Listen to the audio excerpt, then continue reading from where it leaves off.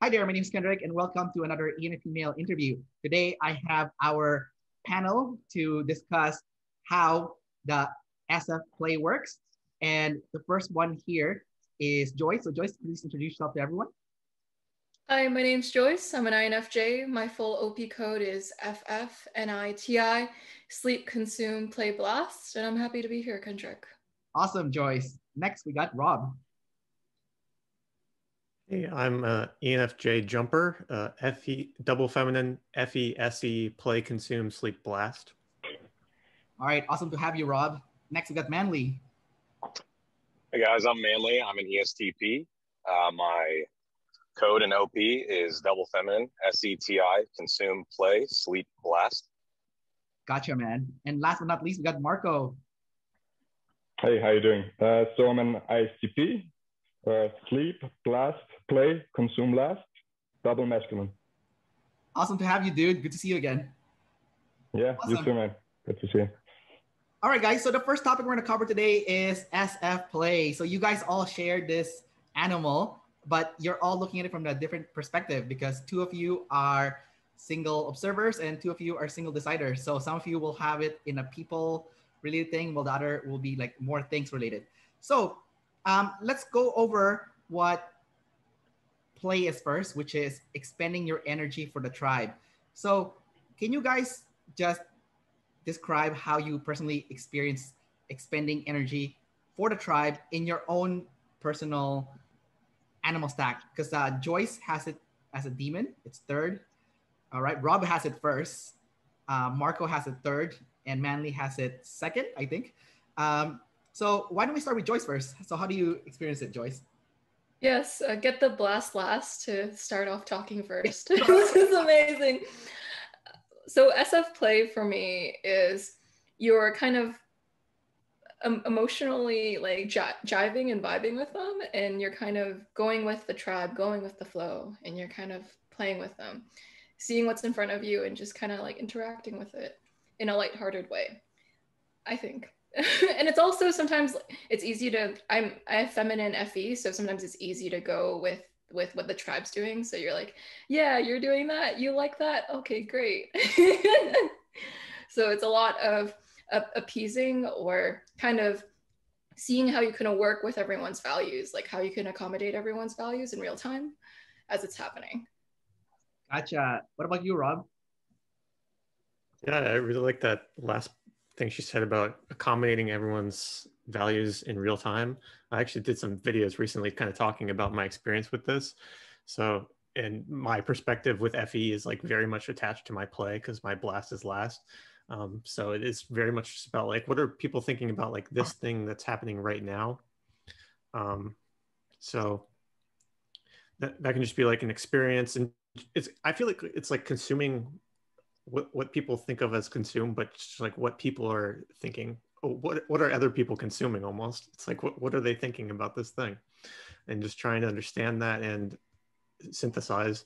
Um, I've also talked about it in terms of or seen it in myself in trying to move the conversation almost to things that we will value. So that's kind of like the SE, like pushing in a direction, um, disrupting what we're doing right now because it doesn't seem to be working in some way. And it's like, we need to go somewhere else. Um, so that's another thing that I see myself doing um, and cracking jokes and things like that, just trying to like lighten up things. And um, I, one, one of those other things I, I often do is just sort of see like things that people could value in the moment and trying to like point them out almost. Um, like I catch myself doing that like automatically. That's like one of those things that I need to like almost stop myself from doing because it's like that's distracting. I need to stop doing that. but like if if I come up, uh, if I have an observation I want to share with the tribe because I think people like find it funny, I but it's not the right time to do that. That's like something I need to like hold myself back from doing. But yeah. Gotcha. Thanks, man. Uh, yeah. Manley, you're up next. So SEFE play for me feels like I'm exerting energy to prioritize the values of the majority that I'm in the presence of at any given time. Um, it could look like kind of like what Rob was saying, making jokes for people um, to kind of heighten the atmosphere, bring laughter, overall like a sense of positivity and joy so that people can focus on what it is that's going to please them the most at any given context. Um, yeah, that's probably about it. All right, thanks, man. And uh, trying to get better at blasting. what about you, Marco? Um, okay, it's um, it's about finding a, a common place, common interest. So for me as a lead TI, it's about lowering the bar kind of deal and kind of keep my identity to myself and, and kind of zoom in on my my audience. Um, it really differs to like the quality of it be being consumed last. So uh, if it's like a totally new audience, like this moment, playing this moment, uh, it can get very tricky because it's so new and overstimulating, right? Um, but the more I know my group or the topic uh, at hand, um, the better or more organic the play will become and more appropriate for the situation where you don't have like something uh, lined up, something prepared. If that makes sense. Yeah. So Marco, um, I want you to elaborate on your play because your play is double masculine compared to these guys. These guys have double feminine play, right? Yours is double masculine. Yeah. So yours is gonna be the most aggressive yeah. play. So, like, what are you doing with that double masculine play of yours? Um, well, it can be quite inappropriate, quite punchy. Usually, I use swear words, and uh, um, I'm usually not really aware of tracking my audience if I don't know them. So I just roll with the dice, you know, just go with the flow and just hope it's good enough. uh, so, so that's kind of how it goes. I, I also like the word when you said that you can play by just rolling with a rolling with the punches instead of preparing something. So I feel like that yeah. maybe you and Joyce have something similar to that because you, you're both like lead sleep. So you're like yeah. always strategizing in your head before you you do yeah. something. Yeah. Yeah, exactly. Even for like uh, this interview is like I did some sleep energy about like some topics and like so I don't run out of uh, things to say. Right, my my mind do it on automatically. Although I know real play is not planned. It, it shouldn't be planned, right. and, and it works better if you don't plan it and you just you know, stay in the moment and actually consume what's going on. So, but it's usually hard if it's a totally new situation. But that's kind of what I work on uh, when it comes to play, being as organic, organic as possible. Do, do you relate with that, Joyce? Because uh, you know, Marco said that play is not planned; it's spontaneous, in the, in the moment. But do you plan your play? Because you have it also, you know, you have sleep first. Sometimes I plan a lot of things, Kendrick. yeah. It's pretty funny. We were talking about sleep just now, and before we started the interview, uh, we were talking about like how I have a headache, and it's from me sleeping, like literally sleeping too much. And I'm like, Kendrick, do you know how that feels? And then Kendrick's like, No, I don't know how it feels to over oversleep so much you have a headache. And it's because like I have so little energy. I'm like, how can I maintain it for this interview I'm going to do with you? So I'm like, I'm just going to sleep so I can feel more energetic. And then I'm like, ow, instead of having more play energy, I just have more uh, more more problems. no. yeah. Um, in regards to Marco and relating to that, yeah, I, I think play it, it can be it can be overwhelming a little bit sometimes too, de- uh, depending on who it's with. For me, like uh, because I've maybe feminine FE, I get kind of scared when people are like when I'm around people who are rude and, and not receptive of of the, the good vibes. So let's say like I'm trying to find a common ground where everyone can kind of feel good and someone's just not jiving it. They're not moving with the feelings. I start to wonder if it's my fault. And then I, I take it on on my own. Is my play not good enough? oh, play demon uh, insecurities. That's funny. Is my play not good enough? yes, that's that's that's the girl that like interviews nine people at once. like like I don't know if you guys seen Joyce's channel, but she does like freaking interviews like with eight and nine people, like like mass amount of people at one time. So I, I don't know if that that's like that's really good for someone that's lead sleep, you know. Um, so one thing I noticed about SF play is that you guys are like very expressive when you play, like, and you like to almost be like dramatic, you know, and like add that like dramatic flair to it, you know like uh, one thing I used to say to my sister who was actually revealing to make her laugh is like I go up to her, I'm like, show me the money, you know, like I'm like very expressive, right? Like I just, you know, or like I pretend I'm a rapper, I'm like, yo, yo, what's up, gangster? You know, like so it's like like do you guys do that kind of stuff a lot, you know, with that like SF play where like you're like very animated, like very like playful, you know, just like doing stuff that like sometimes that makes no sense, but it's just fun, you know. Who cares? Anyone wants to take the floor on that? I mean, I'll be goofy in my own home. I can tell that people think that's weird if I'm like goofy out in the open somewhere. But I don't know. Sometimes that kind of thing is fun. So that is something I'm kind of like exploring doing in more ways. Honestly, um, it's just like I, I, just want to bring joy to the world. So why not? Um, so that's sort of something I'm growing into in a way. Um, but yeah, I mean, I, I like to be expressive. Certainly. Um, I, I like what Marco said about it's like not planned because I actually with those YouTube videos I made, like I, I really don't want to write a script because I then I'm just gonna feel like I need to like stick to those words exactly. I just want to like have an idea and just like say it, it's, have it feel natural, you know. Like that's that's me, I guess. That's how I feel like is is most me if I'm natural and just kind of expressing what I'm feeling as as it's coming out, like I'm doing right now. All right. So. so so Rob and Manley, you guys both have savior play, but um, the difference is that Rob is tribe above self and Manley self above tribe. So Manley will not care, and he'll just play and do whatever the hell he wants. So so while, while Rob might ping off the tribe first to see what's appropriate before he like play along. So Manley, can you talk about like how you would just like do whatever the hell you want with that play? You know, I mean, you're using it as a tool, but you're doing it for fun too because you like it. You know, it's like second, right? Yeah, the way that I use play, um, the most common way that I use it is I kind of act like an idiot. Um, I'll be kind of goofy or dumb, or I'll act like I'm dumb to make people laugh. I'll probably say inappropriate things. If you ask people I know, they'll be like, I mean, you you probably saw it on the last video. I mean, I'll say things that other people perceive as inappropriate, but I'll get away with it for some reason, and people even end up being endeared to me because I do it. I have no idea why in particular, but it's kind of it's just using a play on words, acting goofy, having fun. Um, I, when it comes to the bottom line, I will say that I don't, if someone's not fitting into the play energy that I'm giving, I don't ever, I think I just very rarely assume that I'm doing something wrong, um, which is probably inappropriate. Um, if someone brings it up to me and says like you hurt my feelings, I'll be like, I'm sorry, I didn't mean to hurt your feelings. I was just being goofy. Um, but um, in general, I will do and say inappropriate things. Um, certain kinds of inappropriate things that uh, some people will be thrown off by. And in general, for some reason, it seems like people like it usually, um, which is lucky me. But um, yeah, a lot of the time, like my wife, she'll be like, I can't believe you said that in front of those people. And I don't understand why they liked it or something like that. But I think my wife is like turbo sleep energy and play last maybe. So she, she, yeah, she's not fond of the things that I do, but you know, she's picking up on it a little bit. Um, but yeah, overall, I would, if I had to describe it, it really is like, how much of a hypothetical idiot can I be in public to make people have fun?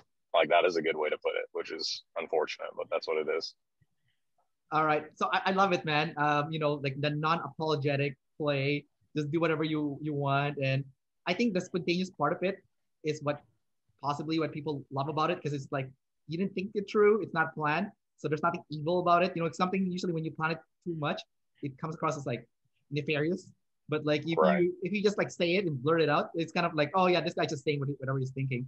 Um, with that being said, though, um, so Marco is also self above tribe, and yeah, he's if you're using play, uh, because you're an IP, so you're for you, you're always trying to put your best best self forward, right? Trying to show your best self to everyone. Um, would you ever well, do something like Manley's doing, where he'll like act like an idiot and make himself look like an like an ass just just because it's fun? Would you ever do that? I've done it. Um, it's not common, and usually when it happens, it's not um, intentionally, uh, but unintentionally all the time. Like it just happens, you know. So I have heard too many stories of those like uh, happy misunderstandings uh, and just uh, rubbing people the wrong way without knowing it. Yeah, it happens all the time. Absolutely. And sometimes when I'm in extreme demon state, I just want to get a reaction and, and kind of provoke because I'm bored. So yeah, I get it. now, Absolutely. We're, uh, since we're on the topic of SF play, um, part of SF play is also like feeling out the vibe of the room. So can you guys like at all times like feel like when like someone like destroys the energy or like something like destroy like kills like that that vibe, you know? You know, because like there's there's like the like even I don't have FE right, I have FI, but I can still feel the vibe. And I know when someone comes in like this like a Dementor from Harry Potter, like just suck the happiness from the room, you know, like just, just everything's destroyed. Um, how do you guys how do you guys uh, experience that and how do you deal with it when that like the mentor comes, you know? yeah, I'm very sensitive to to those kind of situations. Um, where people take themselves too seriously um, or are having the, the wrong agenda, the wrong goal of, of um, the activity at hand. Like usually like some TE lead will usually just uh, really kill the vibe by being efficient and, and doing things as fast as possible or whatever. And, and maybe I'm out playing golf or something. And, and the idea is just as a group to, to have fun and enjoy each other while you take your shots super seriously and, and, you and you, you kind of judge yourself when you do something bad or whatever. So yeah, I'm su- super sensitive to it. I'm quite uh, aware of it as well. Uh, also, when I'm the one disrupting the vibe, because I certainly do that.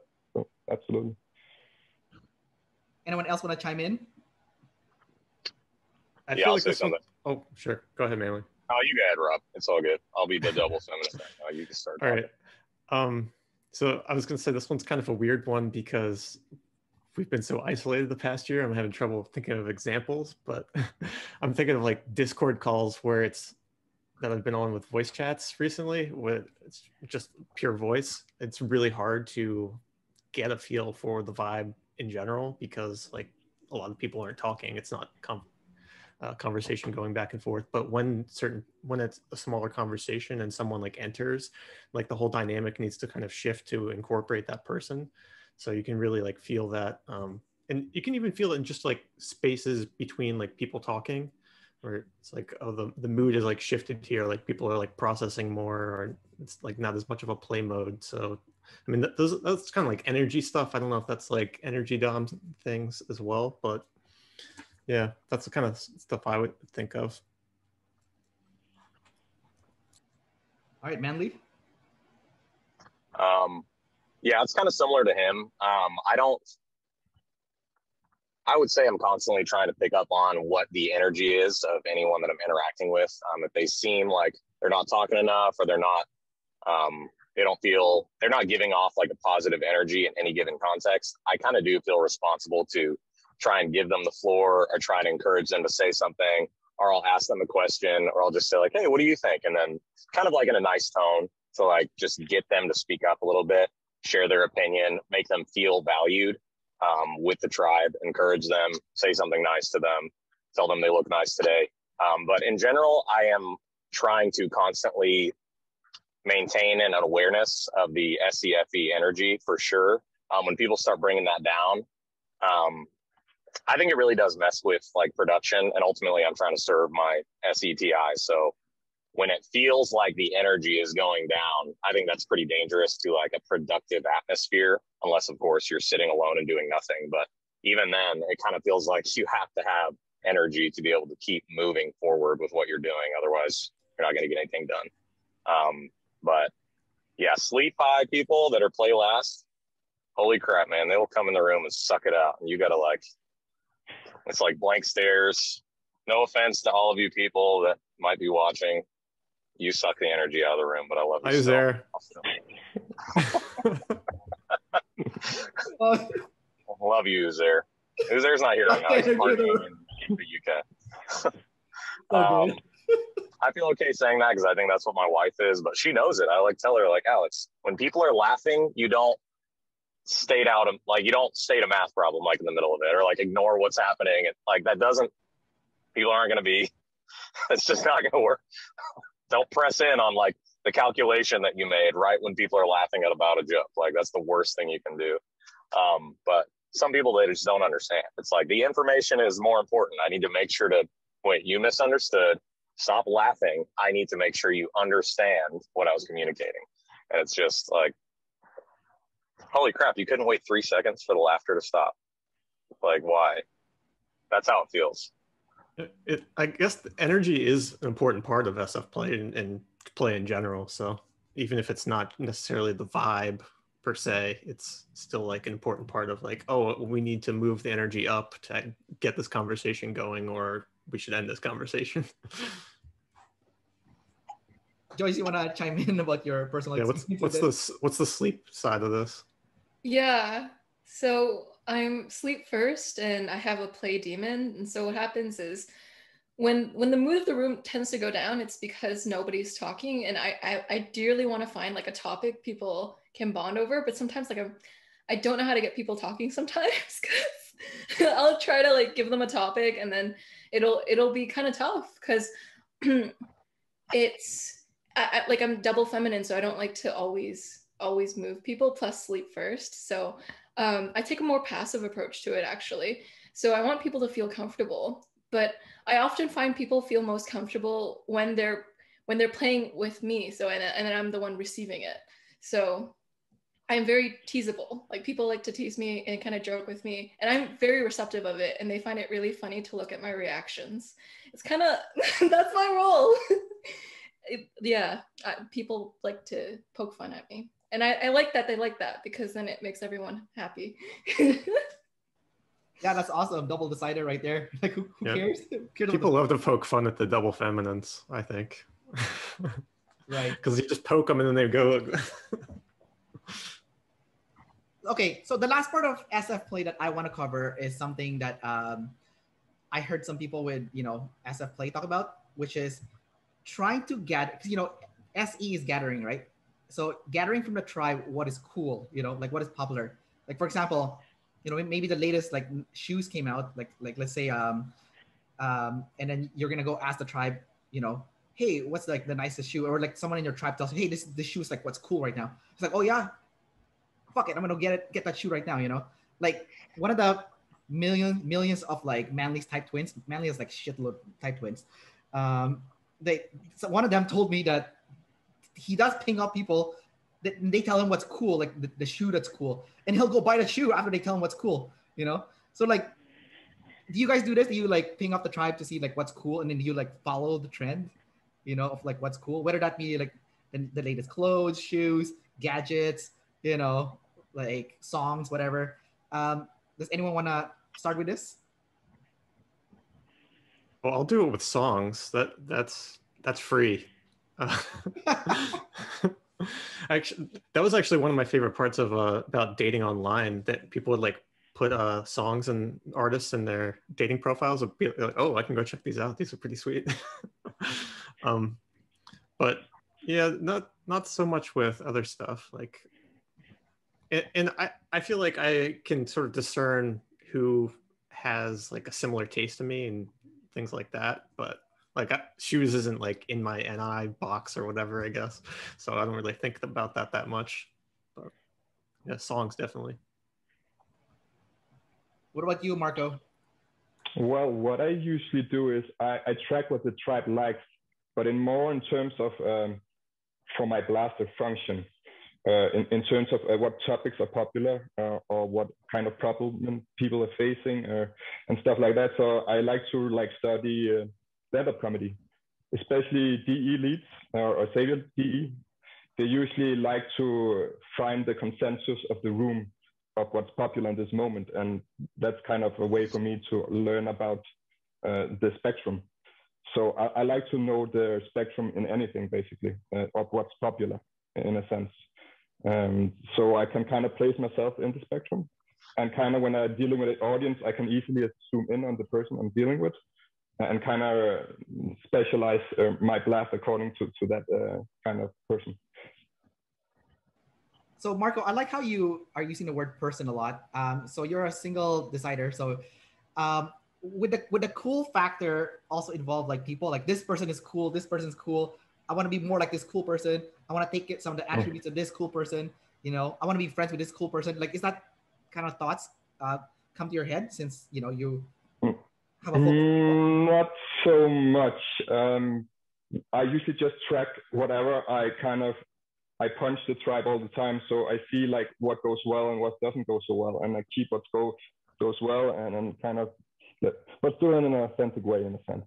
Uh, so I'm still staying true to to my punchiness, and, and I don't change the style or anything, but I still track like where I cross the line and so forth. So yeah. Gotcha. What about you, Manley?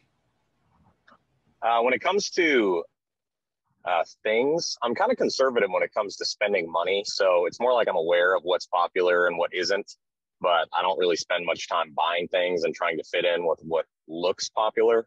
Um, kind of similar to what Marco was saying, it kind of feels like I'm constantly tracking like ideas and what people what people consume in terms of like hobbies um, and their beliefs so that anytime people start sharing what they think what they feel what they do. Um, i kind of i i have the ability to kind of tap into certain aspects of what's most popular in that realm and uh, make myself seem like I am higher on the social spectrum in that specific class of, um, I guess, things that people like. I'm trying to, I'm in that genre of what is cool in society, like, I feel like I need to give an example. This is a freaking ST. Um, recently went to a party to hang out with some people. Um, I don't particularly have a lot of things in common with those people. For example, I don't consume a lot of anime or manga. Okay. I'm just not that person. But I know a lot about it because I have several friends that have consumed a ton of it. So um, I didn't really fit in with that tribe because they're they're a little bit more different. But I was able to heighten my social. I'm saying different and nice, so I don't smile like that, Kendrick. You're making me feel bad. They were cool people. Okay, they liked anime and manga, but I just so happened to know different facts about anime and I was able to tell them, share them some things. And suddenly I went from like maybe like a one on their social spectrum to like a eight or something like that to make myself more SF popular with them just because I knew some facts about what they were SF into, I guess. Um, so that's probably, I think that's most of what I do in that spectrum. All right, man, that's that's hilarious. So Joyce, uh, what do you uh, how do you gather SF from like different people? yeah, I tend to gather SF from people if I think it'll serve as like a social lubricant, if it'll like help us get along better.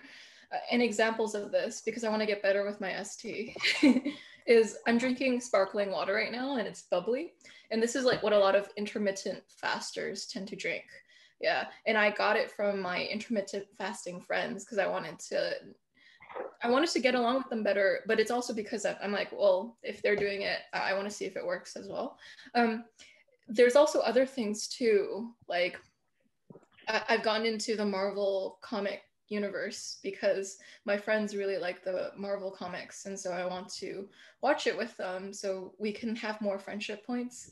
And so sometimes my preferences can feel like a collage of other people's preferences. Like I have this part of my personality because I spent a lot of time with this person and now I'm absorbing some of their traits. And and now I, I have some of this cool stuff from this friend. And so I, the things that I like they kind of sometimes originate from hearing it from other people or, or learning it, about it from other people. And it's funny because sometimes I, I judge that trait in other people. So I notice with other FE users I know, they, they sometimes take on the likes of other people. For, for instance, I, I had a friend who I told, um, I love the word muse because it's like being a, being a, an inspiration for an artist. And then what what my friend does he's fe is he writes a poem to this girl that he likes and he uses the word that that is is a part of my like the very little f i have like the tiny little like he, he takes it and then he uses it for someone else and so it like there are moments like that where i'm like dang fe just takes likes and preferences from other people. There's also uh, i had a friend who i told i like i have a dog that's a shih tzu and a poodle and so I it's funny because I always make a joke how it's like a Shih Tzu. It, it like on his birth certificate it says that he's a Shih Poo, and it's very unfortunate for my dog to be called a Shih Poo. And then you know a few months later, my friend buys the exact same dog. I'm like, that's very specific. There's no way you would have bought that without knowing like the the joke that I tend to tell with that thing. And I'm like, man, people are just taking my preferences. And so that's like when when it comes back to bite me and I'm like, this is am I doing this? This is horrible. I'm sorry. Wait, I don't mean I don't mean that to shame anyone. I just thought I'd share some experiences because I need to get better with the sensing. So yeah. It's too late, Joyce. You already shame all the FE people from copying the, the, the feeling. just, just okay. Because you're so cool, Joyce. Stop being so cool. We'll stop taking your stuff. Uh, yeah, yeah. Oh, there we go. That's a good one. All right, guys. So that's the. I think that's the perfect uh, wrap up for play.